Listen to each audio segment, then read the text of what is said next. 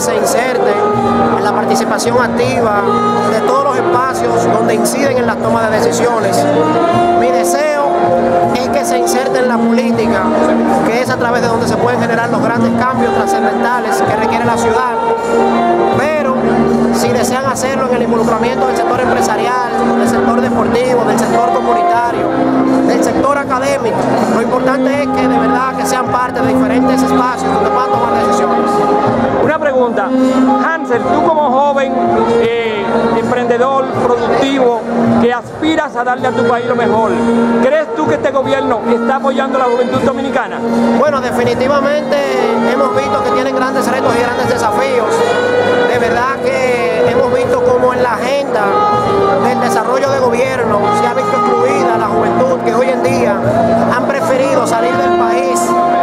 Famosa vuelta por México que de verdad quedarse en la República Dominicana porque ya entienden que en la República Dominicana no hay espacios de oportunidad de desarrollo y de ellos poder salir hacia adelante.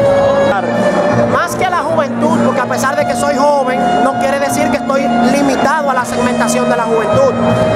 Yo soy un profesional que me he preparado y me he formado académicamente. Tengo especialidades en manejo desarrollo de gobiernos locales y por eso he decidido asumir un compromiso de aspirar a dirigir esta ciudad, la ciudad de Santo Domingo Este, porque el principal compromiso que debe tener no todo joven, sino cualquier ciudadano, es que cuando se sienta en la capacidad de poder aportar, que se involucre y que participe, sin escuchar a nadie, como los caballos enfocados a hacer un trabajo. Trabajo constante, tarde o temprano, genera éxito.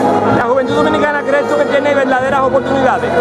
Bueno, las oportunidades son de quienes las crean. Los políticos, los gobernantes, son quienes tienen que crear esas oportunidades. Y aquí en la República Dominicana, el único que puede garantizar crear esos espacios de participación es el doctor Leonel Fernández Reina. ¿El doctor Leonel Fernández Reina tiene dentro de su agenda algún proyecto que sea apreciable, que sea verdaderamente un, Claro que sí, te voy a mencionar uno. El presidente Leonel Fernández tiene un gran compromiso con que la juventud dominicana se prepare para más que buscar un empleo, sea creador de empleo. Para eso nosotros vamos a crear los centros de invención e innovación, donde nosotros vamos a darle asesoría legal para que los jóvenes puedan crear sus empresas en un trámite de 24 horas. Le vamos a brindar toda esa asesoría legal, así como también le vamos a ayudar a armar lo que es su esquema de negocios para nosotros poder también ayudarle a conseguir financiamiento con tasas blandas que estos puedan obtener el capital semilla y que puedan así empezar su primer emprendimiento, que generen empleo, que generen bienestar, pero sobre todo que generen un dinamismo en lo que viene siendo la economía naranja. La República Dominicana, la juventud dominicana tiene grandes esperanzas en un futuro gobierno del doctor Leonel Fernández Reina, que esa es una de las tantas propuestas que tiene, así como también más becas de, para